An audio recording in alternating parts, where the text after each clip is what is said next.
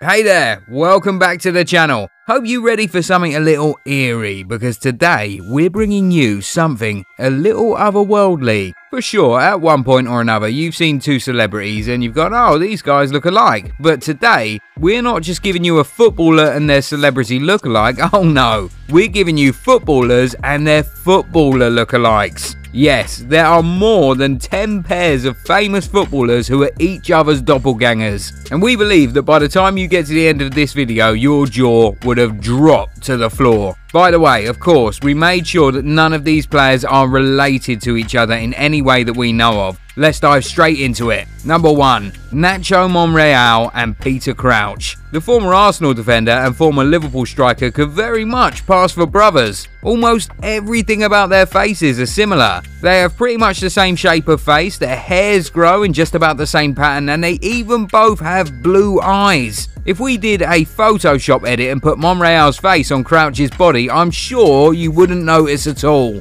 Well, we already did that at the beginning, and be honest, you didn't notice, did you? Perhaps the only place these two do not share any resemblances is in the height department. While Crouch is very famous for his 6 feet 7 frame, Monreal is almost a foot shorter at 5 feet 10 and a half inches. Number 2. Yann Sommer and Marwin Hitz. Now, this one is a little uncanny. These guys, Sommer and Hitz, who obviously have a striking facial resemblance, happen to have a lot more in common. They were both born in Switzerland. They're both goalkeepers. They both started their youth careers in 1996, then both started playing senior team football in 2005. And then they were both loaned out from their respective parent clubs in 2007. To cap it all off, they both currently play in the German Bundesliga. Hey, these two shot stoppers may be a special kind of twins that science is yet to discover, because this goes beyond just doppelgangers, don't you think? Number 3.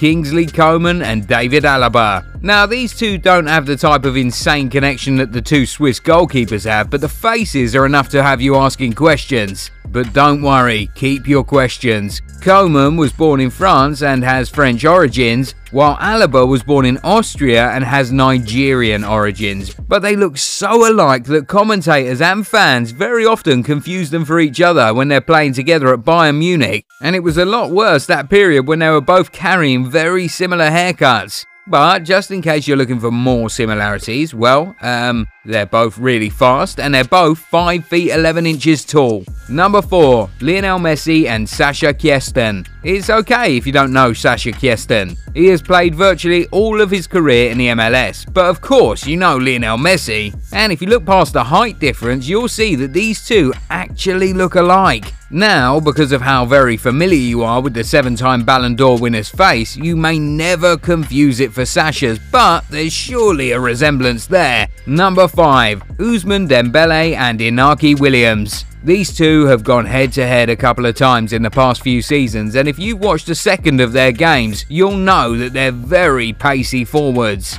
If you then take a minute to look at both their faces, you'll see that they both look alike. And there might be something here because they both have African origins.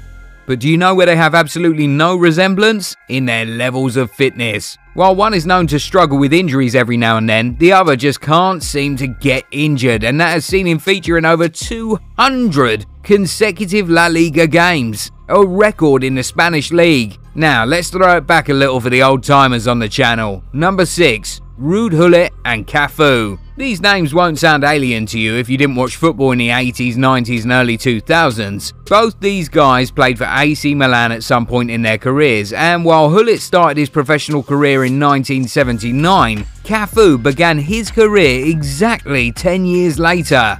Anyway, quick quiz. Can you tell us in the comments which of these players won the World Cup and which one won a Ballon d'Or? Let's see how much you know about your football legends. Number 7. David Luiz and Matteo Guendouzi. The Brazilian defender and French midfielder are pretty much the same person born in different generations. If you remember when they were both at Arsenal together, a lot of people very often confused one for the other, and can you really blame them? The hair they both carry didn't even help the confusion one bit. Oh, and they're both about the same height with similar skin colour and body structure, so you were bound to be confused each time these two were on the pitch for Arsenal together. Anyway, they've both now left Arsenal permanently, so at least you can stop wondering how come David Luiz is still on the pitch when Arteta just took him off. Number 8. Kenny McEvoy and Gareth Bale. Kenny McEvoy had his chance at Spurs, just like Gareth Bale, but unfortunately he hasn't been able to achieve anything close to what the Welshman has done so far in his career.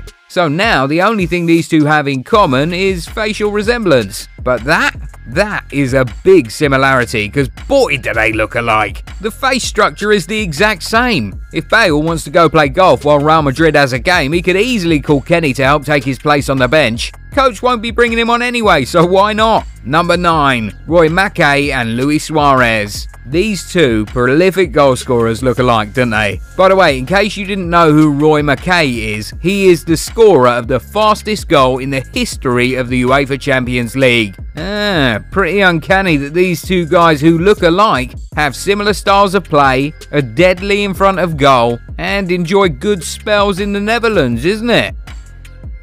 Number 10. Bekim Balaj and Marc-Andre Ter Stegen. We could tell that you guys were thirsting for another really eerie one since Sommer Hitz, so here you go. This is not as eerie, but it's quite interesting. Bekim Balaj and Ter Stegen apparently don't only look alike, they are both exactly the same height. They both started playing senior team football in 2009. They both moved to new European clubs in the same window in 2014. And, well, uh, they've both not scored any goal for their last two clubs. Yes, Balaj is supposed to be a striker, so that doesn't look too good for him. But let's just focus on the fact that this Albanian forward and German goalkeeper look very much alike. Number 11. Dida and Mbappe. These two guys have more than a World Cup gold medal in common. They actually look like brothers. Uh, no, more like mm, father and son. Dida is more than twice Mbappe's age, so no way they could actually look like brothers. Anyway, will Mbappe go on to add a UEFA Champions League winners medal to his World Cup medal, just like his lookalike did? Well, we'll just have to wait and find out. By the way, tie a ribbon around both these guys' eyes and you know what you get, right? Don't make us say it. Number 12, Luka Modric and Johan Cruyff. We'll be rounding off with two absolute legends of the game. Cruyff, when he was much younger, looked a lot like Modric now. The hair, the nose, the lost look, these two guys, who each have a connection to opposite sides of the El Clasico rivalry, could pass for father and child. And the fact that they're both skillful midfield maestros doesn't help our suspicion that they must somehow be related. Just somehow. And it gets pretty uncanny with these two because their achievements look pretty alike too. They're both Ballon d'Or winners, they both did the three-peat in the Champions League, or European Cup as it was called in Cruyff's days. They both got to the final of the World Cup but never won it, and then each of them was awarded the World Cup Golden Ball Award in the tournament when they came second. Truth is, if you believe in superstitions or the supernatural, it's easy to believe that some of these pairings in this list are more than just doppelgangers, and we won't blame you at all. In fact, you know what? If you have any conspiracy theories about lookalikes, let us know in the comments. This is a safe space. For more content like this, give this video a thumbs up, subscribe to the channel, and turn on the bell notification. See you in the next one. Bye for now.